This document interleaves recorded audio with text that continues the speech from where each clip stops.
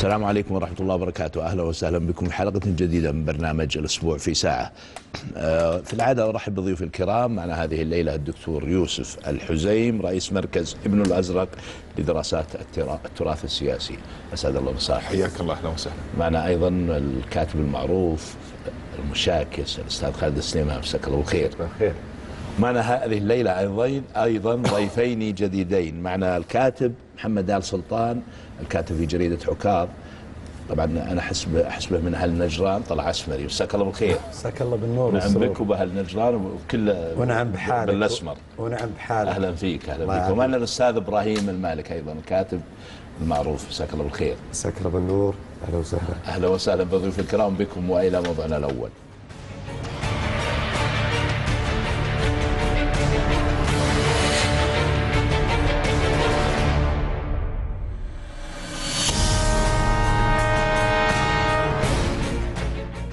احتلت المملكة العربية السعودية المرتبة التاسعة بتصنيف أقوى دول العالم وفقا لدراسة صادرة عن News and World Report والتي نشرتها مجلة Business Insider وذكرت الدراسة خمس أسباب استندت فيها على اختيار السعودية في هذه المرتبة من بينها التعامل مع الأزمات والتفوق العسكري والتأثير السياسي الكبير والسرعة في تشكيل وتقوية التحالفات الدولية بالإضافة إلى القدرات الاقتصادية الضخمة التي تتمتع بها المملكة. وتصدرت الولايات المتحدة الأمريكية القائمة وفقا للدراسة تلتها روسيا والصين ثالثا ومن ثم ألمانيا وبريطانيا في المرتبتين الرابعة والخامسة على التوالي.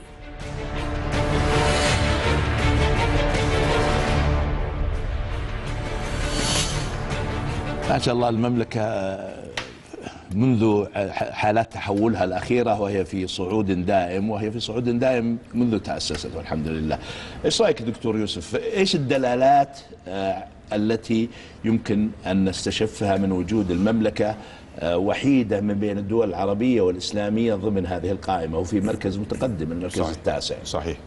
اولا المملكة قادت مرحلة تشبيب وقام فيها خادم الحرمين الشريفين الملك سلمان الملك صحيح. سلمان بن عبد العزيز. وأعتقد آه، أن روح الشباب الآن تدب في هذه الدولة إعادة آه، هيكلة آه، النظام الإداري والحوكمة الرشيدة. اثنين حنا نملك رؤية.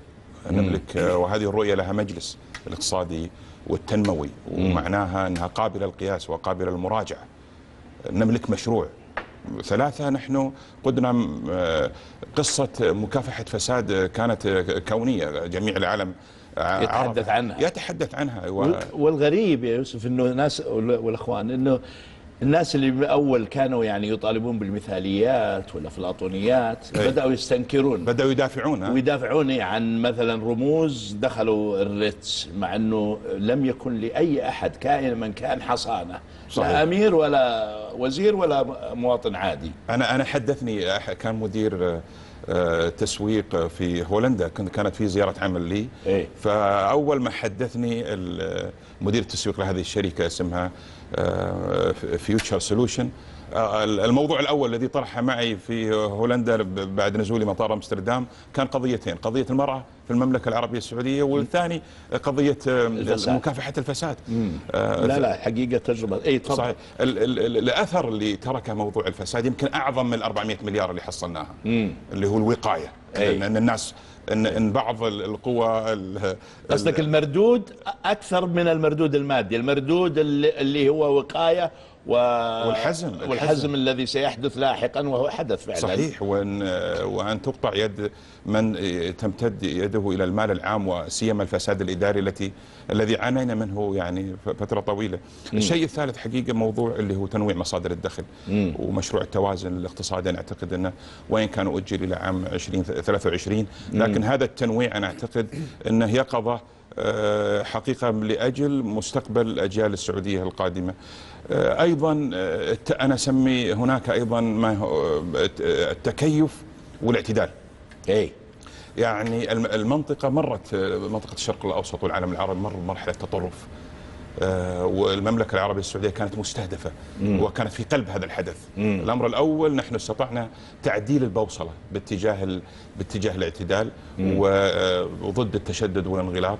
والجمود والت- والتطرف والأمر الثاني أيضا شاركنا نحن حقيقة أن آه، يعني أن آه، ننشر الاسلام تعرض لهجمة شرسة منذ آه، ال- 9/11 صح ولا لا؟ يلا صحيح. وكان مركز هذا الحدث وهذه آه، هذه الدعاية السياسية قادتها إيران وتتذكر حكومة أوباما.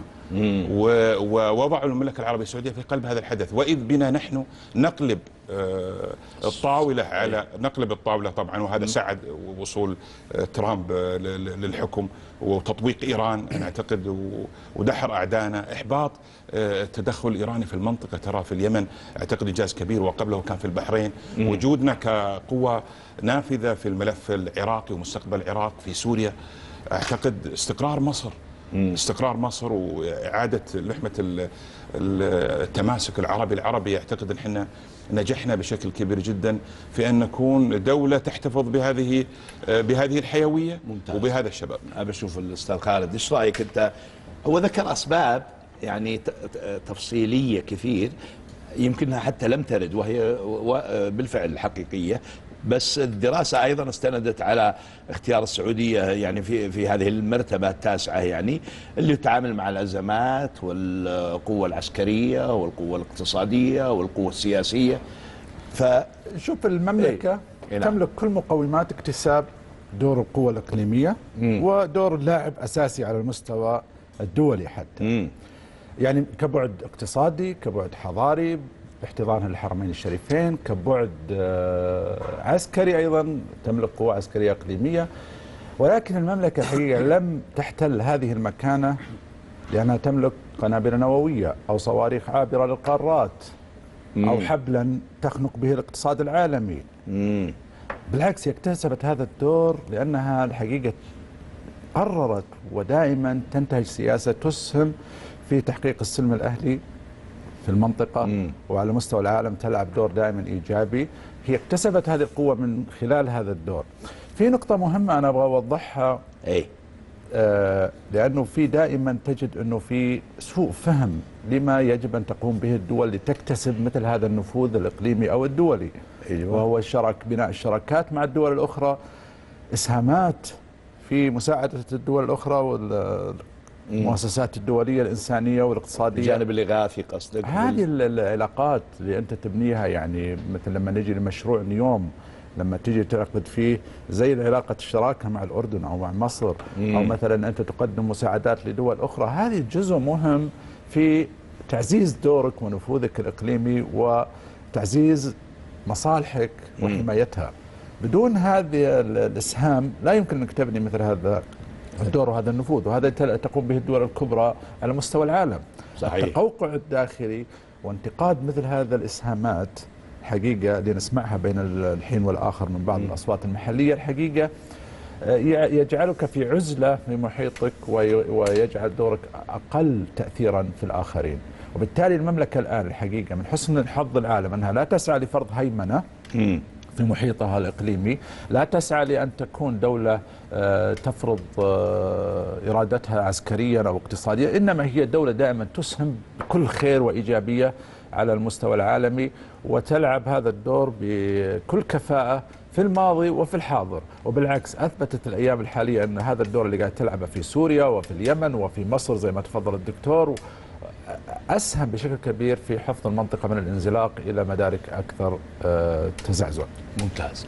محمد إيش تعليقك أنت؟ يعني المملكة بالفعل احتلت هذه ال- المكانة رغم إنه أنت عارف إن في كثير من الدول حاولت التأثير على المملكة باصطناع المشاكل آه، الحدودية وغيرها يعني في في المنطقة وفي الإقليم.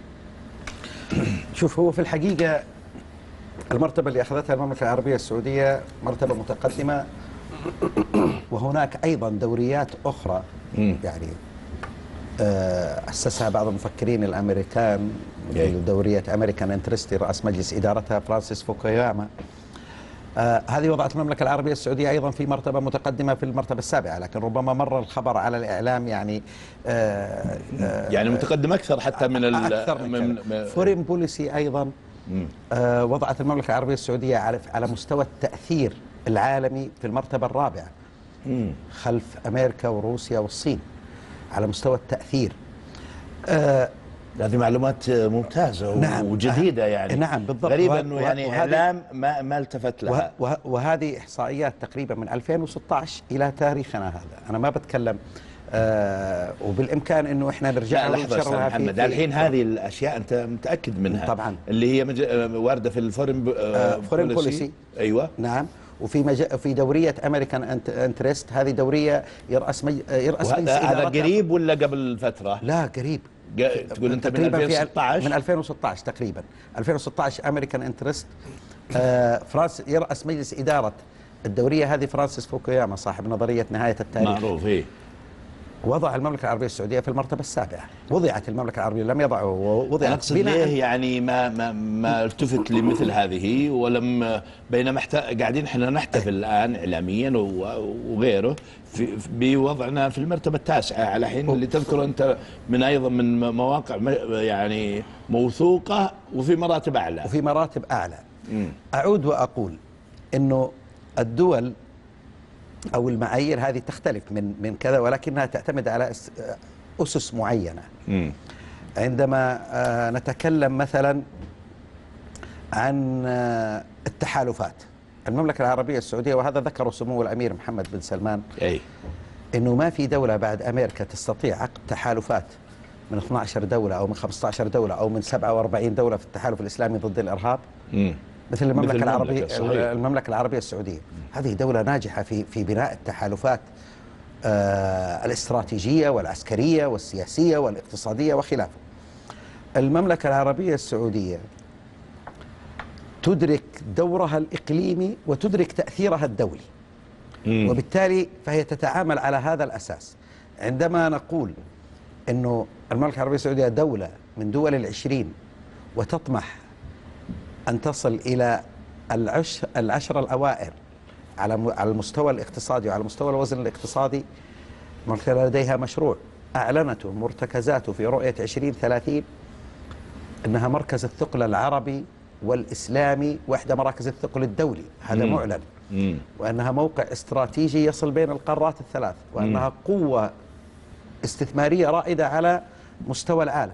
ولذلك نلاحظ هذا التوازن الاستراتيجي في العلاقات السياسية. ترى نادرا ما تقوم به دول إقليمية ما بين أمريكا وروسيا والصين والهند. مم. أنت تتحدث عن توازن استراتيجي وعن شراكات شراكات سياسية واقتصادية لمشاريع كبرى. فهذا كله إضافة إلى القيمة الدينية والروحية الموجودة لديك أصلا. اي المكتسبة أصلا. المكتسبة أصلا. إيه. وإضافة إلى موقعك الاستراتيجي إحنا نتحدث عن مشاريع المملكة العربية السعودية سوف تصبح جزءا مهما في طريق الحرير الصيني وربط القارات بجسر الملك سلمان آه، الذي ننتظره وبمشاريع كبرى مثل اليوم بصناديق تقنية مثل ممتاز. صندوق SoftBank مم. هذا أكبر صندوق تقني فأنت لديك مشروع مم.